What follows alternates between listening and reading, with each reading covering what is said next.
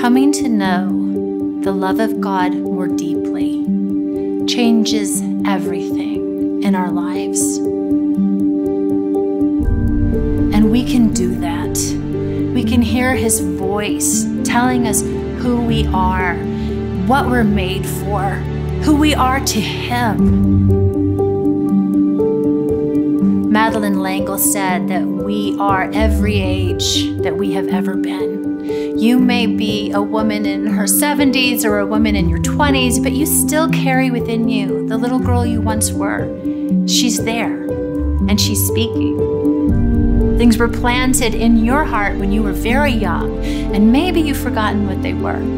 Well, it's time to check in and listen and actually bring to the young places in our lives the healing and the love that they still need.